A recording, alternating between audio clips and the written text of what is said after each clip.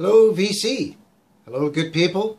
Cheers. It's Chris, your blues guy. Welcome back to Blues Guy Vinyl. Thank you very much for joining me here today. So, finally, I finally got my uh, my videos done for my one dollar record haul from my shopping excursion at Recordland a couple of weeks ago. Finally got everything put together here. So part one of a two-part will be this video right now where I'm going to just show a quick little flip through of some of the, you know, the, some of the more basic stuff, if you will. Um, and then at the end, I've saved a few records just as some goodies to show you at the end of that little flip through video. So before those goodies at the end, we'll do this little flip through, and then when that's finished, we'll come back to me here, and then I'll show you some of those, those goodies.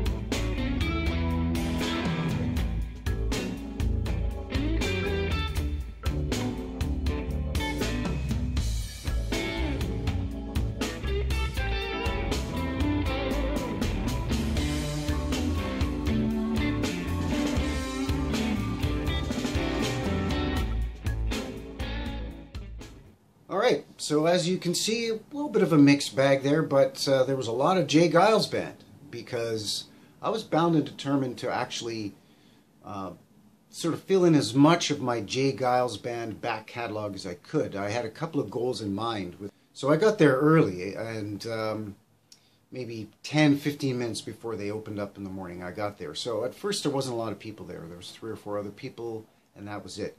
But as the hours progressed, more and more people started packing in. Went in alone, and I should have used the buddy system. I should have brought a friend with me who maybe wasn't necessarily interested in buying a lot of records themselves, but could sort of be an extra pair of eyes or set of eyes for me. So I got through a fifth of that place, and then, you know, after five hours, four or five hours or so, and then it was closing time. So I had to just basically take what I had and pay for it, and off I went.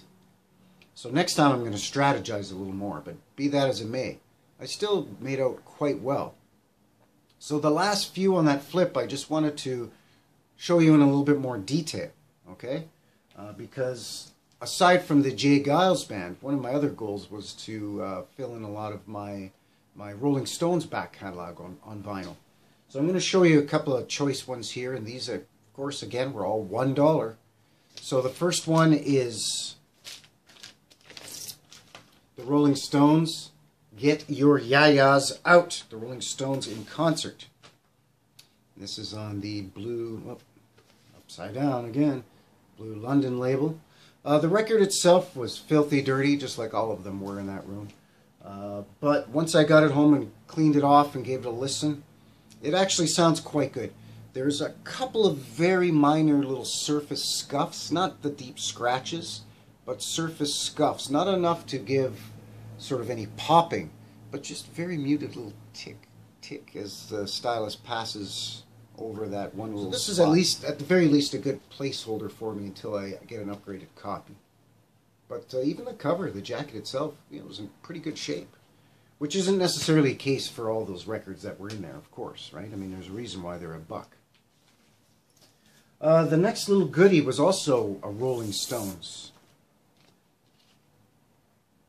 And this is uh, Between the Buttons, Rolling Stones.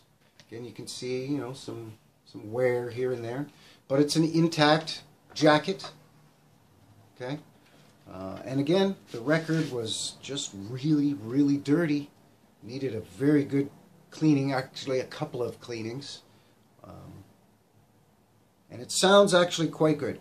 This one did have one little scratch, but it's right at the beginning of uh, side two, track one, which is uh, all sold out. So, again, not anything significant, just a little bit of a popping sound as the stylus goes over that little scratch. And it's just for the first track. It's not even entirely through the first track. So, again, that's something I can live with, especially for a dollar.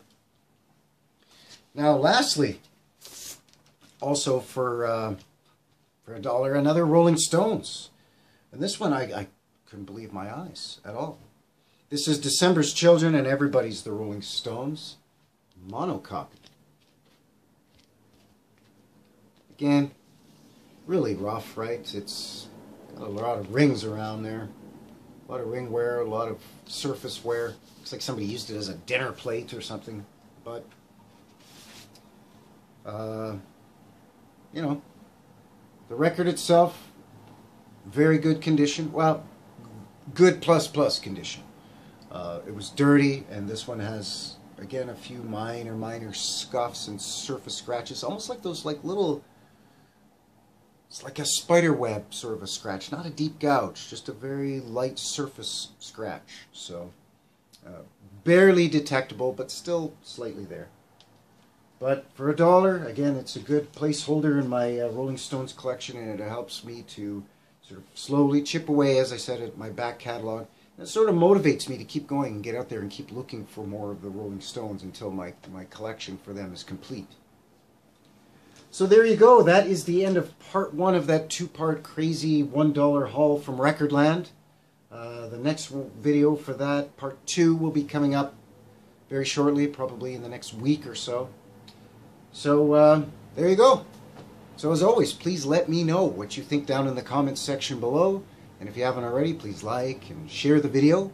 And uh, please subscribe as well. And uh, we look forward to seeing you again real soon. Okay? So in the meantime, don't forget, keep digging and keep spinning. All right. Thank you very much. Take care, everyone. Bye-bye.